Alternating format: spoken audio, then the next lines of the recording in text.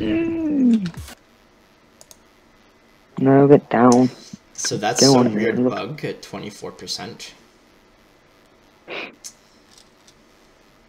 It's gonna, for some reason, it is possible to fix though as well. If I just go to turn off preview mode and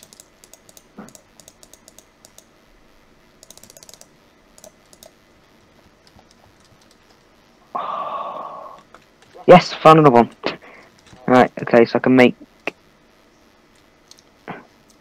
yeah, that's how you fix it. And I'm just gonna show you that that actually did it. What the heck? Why?